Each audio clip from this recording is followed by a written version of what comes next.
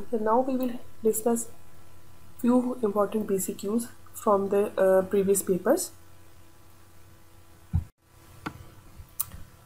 इसमें फ़र्स्ट है which organ utilizes glucose only जैसा कि हमने पहले भी डिस्कस किया था जब हमने इसकी जो फीडिंग एनर्जेटिक्स डिस्कस किए थे इसमें आरबीसी आता है और सेकंड नंबर पे जो ऑर्डर ऑफ़ प्रेफरेंस में है वो फिर ब्रेन आता है।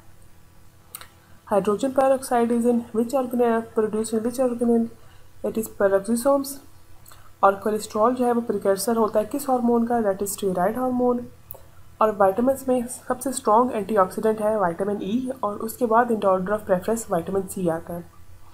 अगर दोनों ऑप्शन मौजूद हैं तो आप वाइटामिन ई e करेंगे, लेकिन अगर वाइटामिन सी है तो वो भी वाइटामिन ई e के बाद स्ट्रॉन्ग एंटीऑक्सीडेंट में आता है। अब हाई कोलेस्ट्रॉल किसमें होता है? एलडीएल में। एलडीएल जैसे आपको पता है, ये बैड कोलेस्ट्रॉल होता है, एच गुड कोलेस्ट्रॉल होता है। एच में कोलेस्ट्रॉल का कंपोनेंट कम है, प्रोटीन का कंपोनेंट ज़्यादा है, और एलडीएल में कोलेस्ट्रॉल का कंपोनेंट ज़्यादा है, और प्रोटीन का कंपोनेंट कम है। अच्छा और ट्राइग्लिसराइड्स में काइलोमाइक्रॉन्स सबसे ज़्यादा होते हैं, और उसके बाद वी एल डी एल होता है। जो ट्राइग्लिसराइड्स है, उसमें काइलोमाइक्रॉन एच टी एल ये सब आते हैं, और सबसे ज़्यादा अमाउंट उसमें काइलोमाइक्रॉन्स का होता है। एन आइन गैप क्या होता है? Anion gap is the difference between mad cation और mad anion cation minus anion हो तो उसको हम एनाइन गैप कहते हैं। नेक्स्ट नंबर नाइन है anti antioxidant vitamin antioxidant vitamin में वाइटामिन ई है, लेकिन अगर सबसे पोटेंट कहें तो ग्लूटाथायोन है, उसके बाद वाइटामिन ई और उसके बाद फिर वाइटामिन सी का नंबर आता है। और प्रोटीन सिंथेसिस का करेक्ट सीक्वेंस क्या होता है? सबसे पहले मैसेंजर आर बनता है, फिर ट्रांसफ़र आर बनता है और फिर उससे आगे अमाइनो एसिड्स की सिंथेसिस होता है। Messenger R N cyto cytoplasm में प्रोड्यूस होता है ट्रांसफ़र आर एन राइबोसोम्स में फिर उससे आगे फिर अमाइनो एसिड्स की प्रोडक्शन होती है। अब डिक्रीज़ होता है E S R due to increase in albumin जितना एल्बुमिन इंक्रीज़ होगा, इतने जो रिथ्रोसाइड्स हैं ब्लड सेल्स हैं, वो जल्दी उनकी सेडिमेंटेशन होगी और ये अब जो टाइम है वो कम होगा। एसेंशियल अमाइनो एसिड्स कौन सा है? फिनाइल एलेनिन जिसको हमने निमोनिक प्राइवेट इमाल से याद किया था। एसेंशियल फैटी एसिड कौन सा है? वो लिनोलिक एसिड है। लिनोलिक और लिनोलिनिक एसिड ये दोनों जो है, ये एसेंशियल अमाइनो फैटी एसिड्स हैं। For conversion of glucose one phosphate to glucose six phosphate glucose one phosphate से कन्वर्ट करने के लिए ग्लूकोज सिक्स फॉस्फेट कौन सा इंजाइम रिक्वायर है? इसमें जो इंजाइम है ना, वो फॉस्फोग्लूकोम्यूटेज है। लेकिन अगर फॉस्फोग्लूकोम्यूटेज प्रेजेंट ना हो और आइसोमरेज हो तो आपने आइसोमरेज को टिक करना है। फ़र्स्ट पे फॉस्फोग्लूकोम्यूटेज को करना है। अगर वो प्रेजेंट ना हो तो फिर आप आइसोमरेज को भी टिक कर सकते हैं। ट्रांसफेरेजेस क्या होते हैं? ट्रांसफेरेजेस होते हैं transfer of radical from one group to another को जो है वो एंजाइम जो कैटलाइज करते हैं वो ट्रांसफेरेजेस होते हैं। और oxido reductase oxidation reduction reaction. Oxidation reduction reaction में ट्रांसफ़र ऑफ़ रेडिकल्स नहीं होता, इलेक्ट्रॉन्स का ट्रांसफ़र होता है, जबकि ट्रांसफरेजेस जो होते हैं वो moieties from donor to recipient transfer करते हैं। जब ग्लाइकोकैलेक्स में क्या होता है? कार्बोहाइड्रेट मेयोटी होती है। फिर only source of glucose only utilises glucose basically इधर होना चाहिए, वो आर बी सीज हैं। और जैसे कि फ़र्स्ट एम सी क्यू में भी यही पढ़ा था हमने। और ब्रेन भी यूटिलाइज कर can utilise ketone in starvation but R B C have no source other than glucose अच्छा फिर आ जाता है इरिवर्सिबल स्टेप ग्लाइकोलिसिस में कौन सा है? वो है ग्लूकोज है ग्लूकोज सिक्स फॉस्फेट का। बाकी के सारे स्टेप्स जो हैं वो रिवर्सिबल हैं। मोस्ट इंपॉर्टेंट बफर जो है ब्लड में वो कौन सा है वो बाइकार्बोनेट आइंस है which of the following is not a feature of malnutrition in adult malnutrition से थ्रोम्बोसाइटोपिनिया नहीं होता इसमें बाकी आई थिंक कि बाकी के एनीमियाज का ऑप्शन होगा जो कि मेल न्यूट्रिशन की वजह से होते हैं जबकि थ्रोम्बोसाइटोपिनिया मेल न्यूट्रिशन की वजह से नहीं होता। ह्यूमन प्लाज्मा की ऑस्मिलरिटी किस आ, से इक्वल होती है? वो point nine percent normal saline से। इसलिए जो नॉर्मल सलाइन जो है, जो जो जिसकी ऑस्मोलैरिटी पॉइंट नाइन परसेंट होती है, वो हम फ्लूड रिप्लेसमेंट के लिए भी देते हैं, क्योंकि उसकी ऑस्मोलैरिटी ह्यूमन प्लाज्मा के इक्वल होती है। Patient with gastrectomy presents with anaemia after one and half year what will you give gastrectomy में स्टमक से मोस्ट इंपॉर्टेंट जो है वो फैक्टर रिलीज़ होता है परनीशियस फैक्टर जो वाइटामिन बी ट्वेल्व की एब्जॉर्प्शन में इंपॉर्टेंट होता है। तो अगर गैस्ट्रेक्टमी होगी तो बाकी के डाइजेशन प्रॉब्लम इतनी नहीं होगी जितनी कि ये वाइटामिन बी ट्वेल्व की डेफिशिएंसी होगी। ठीक है? और वाइटामिन बी ट्वेल्व के हमने देखा कि ये स्टोर जिसके टू टू थ्री इयर्स तक लास्ट करते हैं और उसके बाद फिर आपके जो आ, वो प्रोड्यूस होना सिम्टम्स प्रोड्यूस होना शुरू होते हैं और ये सिर्फ़ एनिमल सोर्स से हम ले सकते हैं। अब इस पेशेंट में एक ये भी है कि अगर आप ये भी सोचेंगे कि वन एंड हाफ़ ईयर के बाद क्यों गैस्ट्रेक्टमी में? कि वन एंड हाफ़ ईयर के बाद ही क्यों इसको वाइटामिन बी ट्वेल्व के सिम्टम्स शुरू हो गए? एक तो ये कि अगर गैस्ट्रेक्टमी हुई है तो मोस्ट प्रॉब्ली कोई लंबी इलनेस चल रही थी। जिसकी वजह से पहले भी डाइट ठीक नहीं थी। या फिर ये कि गैस्ट्रेक्टमी भी इट्सल्फ एक सर्जरी है स्ट्रेस है बॉडी पे, जिसमें ब्लड लॉस होता है ब्लड लॉस होता है तो फिर उसकी ब्लड की प्रोडक्शन के लिए वाइटामिन बी ट्वेल्व चाहिए होता है तो इंक्रीज डिमांड भी है इसमें। ठीक है। अब प्रिक्वेसर स्टीराइड हार्मोन क्या क्या चीज़ होती है? वो कोलेस्ट्रॉल होती है। टाइप थ्री कोलेजन डिफेक्ट की वजह से एहलर डेनलॉस सिंड्रोम होता है जिसमें हाइपर मोबिलिटी ऑफ़ जॉइंट्स होता है। जो मार्फन सिंड्रोम होता है ना वो भी कोलेजन की डिफेक्ट की वजह से ही होता है। ठीक है? अब टायरोसिन डेरिवेटिव में कौन सा हार्मोन नहीं आता? वो है प्रोलेक्टिन अब टायरोसिन डेरिवेटिव में कौन से हार्मोन्स आते हैं? वो है थायराइड हार्मोन्स और कैटिकोलामीन्स थायराइड में और कैटेकोलोमीन जिनमें एपिनेफ्रीन और नॉन एपिनेफ्रीन आते हैं। ठीक है? ये चीज़ें टायरोसिन से ड्राइव होते हैं। That is two classes of hormones इसमें थायराइड हार्मोन्स आते हैं और कैटेकोलोमीन्स आते हैं। ये टायरोसिन के डेरिवेटिव हैं। जबकि प्रोलैक्टिन जो है, वो टायरोसिन का डेरिवेटिव नहीं है। Which step is common in glycolysis and gluconeogenesis that is conversion of fructose one six bi phosphate to fructose six phosphate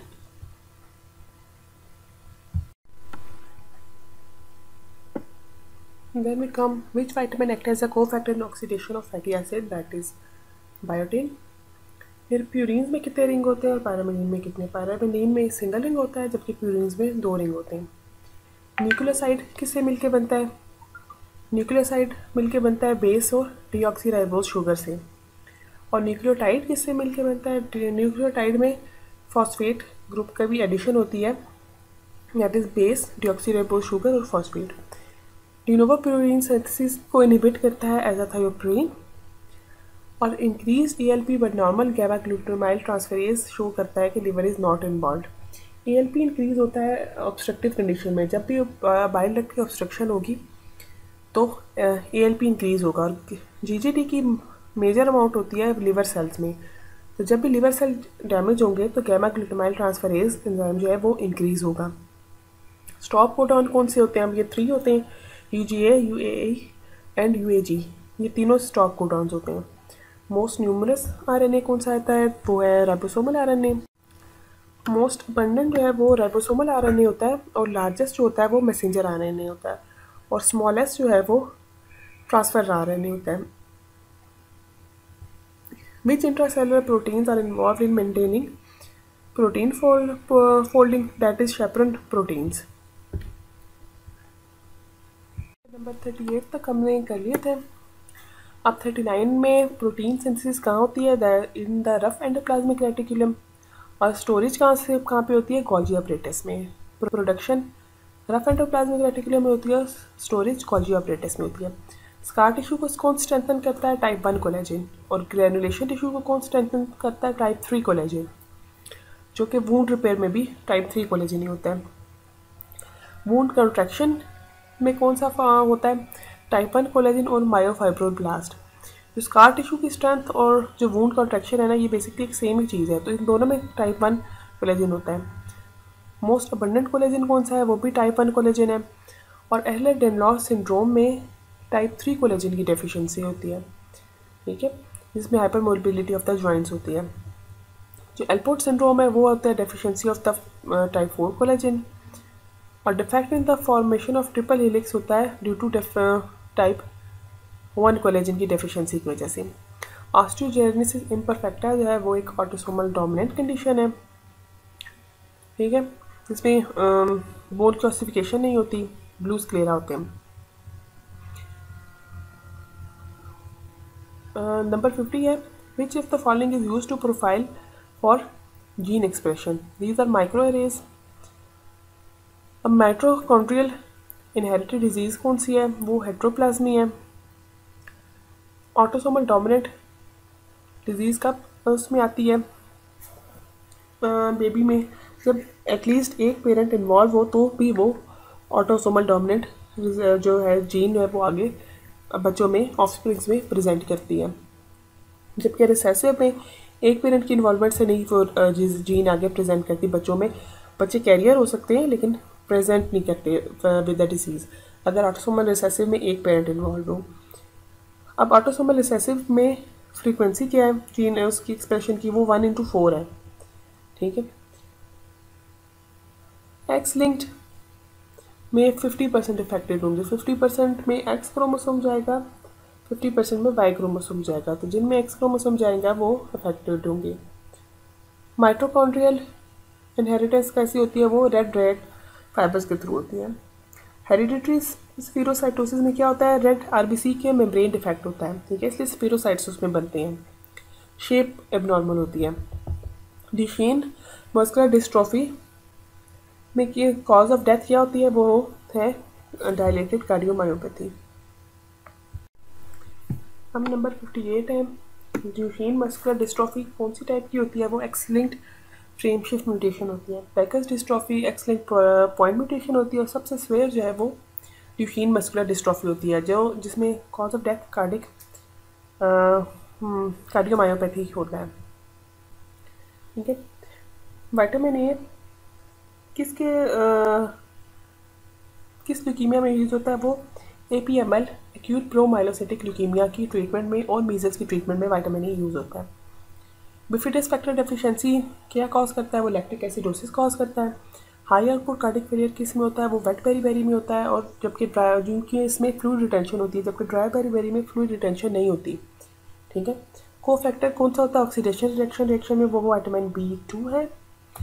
और को फैक्टर फॉर एकाइल ट्रांसफरेज कौन सा होता है? वो बी फाइव है। अब होमोसिस्टीन्यूरिया जो है, वो वाइटामिन बी सिक्स की डेफिशिएंसी से होता है होमोसिस्टीनीमिया जो है, वो वाइटामिन बी ट्वेल्व की डेफिशिएंसी की वजह से होता है। ठीक है? कॉर्बोक्सिलेशन रिएक्शन में कौन सा को फैक्टर होता है? वो वाइटामिन बी सेवन होता है। वाइटामिन विच किस which is the commonest deficiency in United State which vitamin वो वाइटामिन बी एट है। वाइटामिन बी एट की एब्जॉर्बशन को इन, इन, कम करता है अल्कोहल तो उसमें अल्कोहल यूनाइटेड स्टेट्स में ज़्यादा तो इस इसलिए वाइटामिन बी एट की डेफिशिएंसी भी ज़्यादा है। वाइटामिन बी ट्वेल्व की एब्जॉर्बशन होती है टर्मिनल आइलियम से, जबकि इसके एब्जॉर्बशन के लिए फैक्टर रिलीज़ होता है स्टमक से। मैक्सिमम वाटर एब्जॉर्बशन जो होती है वो जिजुनम में होती है। अभी डिफरेंट डिज़ीज़ सेवेंटी वन में एक डिज़ीज़ की प्रेजेंटेशन दी हुई है जिसमें मसल पेन है जॉइंट पेन है पुअर वूंड हीलिंग है पॉक्स की हेयर है और एनीमिया है। वो स्कर्वी के, ये सारे फीचर्स हैं स्कर्वी के, ठीक है? और जिसमें जो होता है वाइटामिन सी की डेफिशिएंसी की वजह से। Net ATP production in aerobic metabolism है वो थर्टी एट ये that is to the malate and gluco glycophosphate shuttle तो ट्राइकार्बोक्सिलिक एसिड की में एटीपी की प्रोडक्शन है वो है ten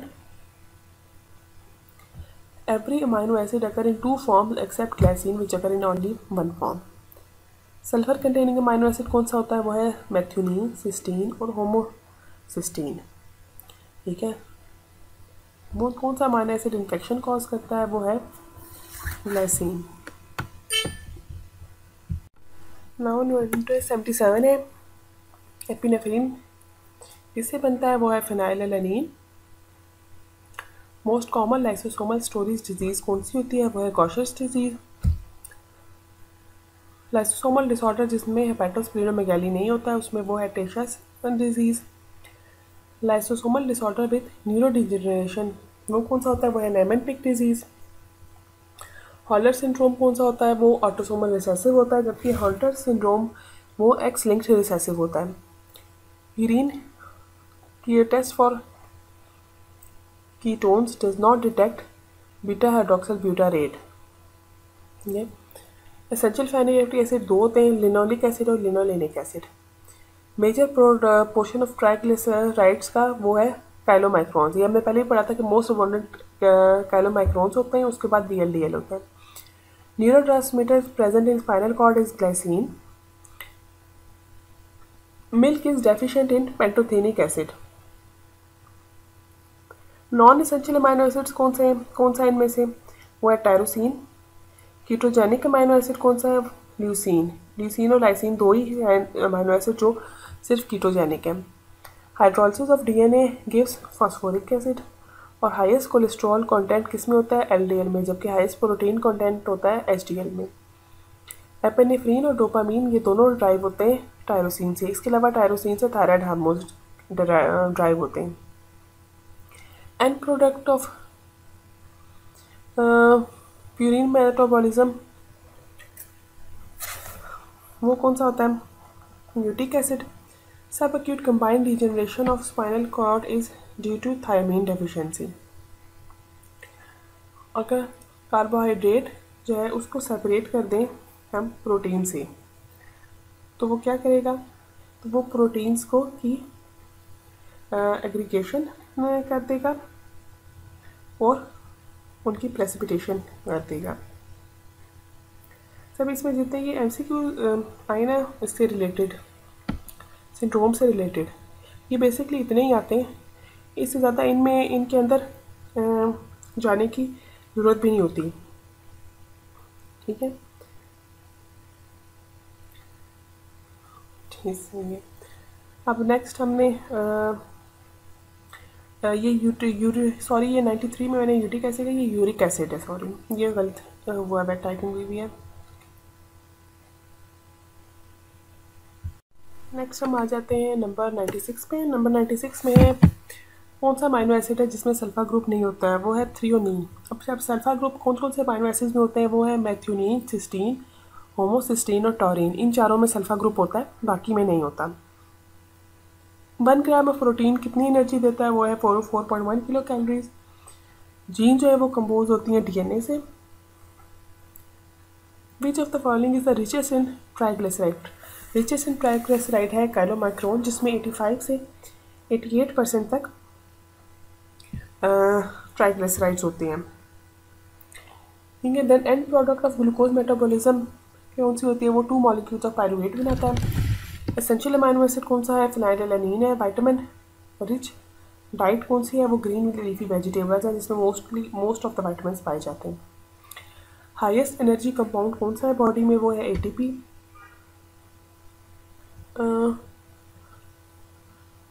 फिर नंबरिंग इसमें है वन ज़ीरो फाइव है.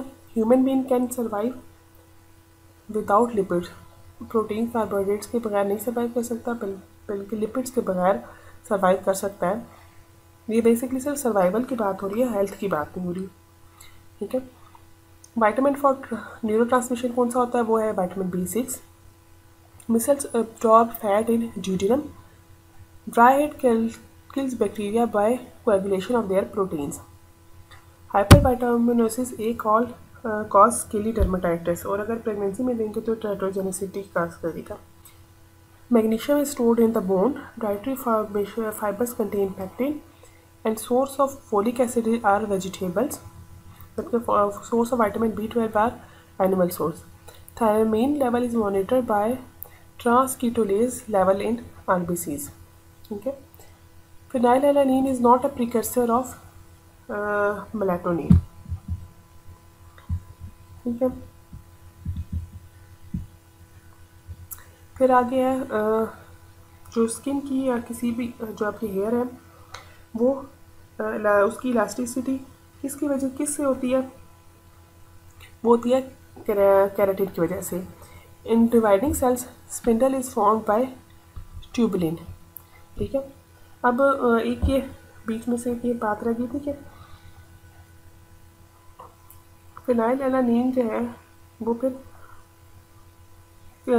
अमानो एसिड लाइक टायरोसिन है, उसका प्रिकर्सर होता है। ठीक है? फिनाइल एलानीन टायरोसिन का प्रिकर्सर होता है और फिर आगे से जो टायरोसिन के जो कंपाउंड होता है ना, इस एमसीक्यू में, ऐसे भी आया होगा ना, ये कि phenyl is not a precursor of नीचे उसमें ऑप्शन में टेरोसिन होगा। टेरोसिन से फिर आगे जो कैटेकोलामीन्स और थायराइड हार्मोन्स होते हैं, वो भी होगा। तो वो इनडायरेक्टली फिनाइल फिनाइलिन ही उसका प्रिकर्सर है, ठीक है? जो आगे से टायरोसिन से भी आगे हार्मोन्स बन रहे हैं, ठीक है? इसमें protein rich in amino acids DNA में जो जो होता है वो कौन सी प्रोटीन रिच होती है, वो है स्टोन्स हैं। बेसिक अमाइनो एसिड्स कौन से होते हैं? वो लाइसिन और आर्जिनिन है और insulin does not stimulate ketogenesis instead it inhibits ketogenesis क्योंकि इंसुलिन तभी रिलीज़ होगी जब बॉडी में ग्लूकोज का लेवल ज़्यादा होगा। नॉन इसेंशियल मिनरल्स मिनरल कौन सा है? Lead lead is a non essential mineral negative coronary risk factor कौन सा है? वो है H D L increase H D L increase L D L है, वो पॉजिटिव फैक्टर है कोरोनरी आर्टरी डिज़ीज़ का, जबकि increase H D L which is a good cholesterol it is a negative coronary risk factor iodine जो है वो lead होती है यूरिन में।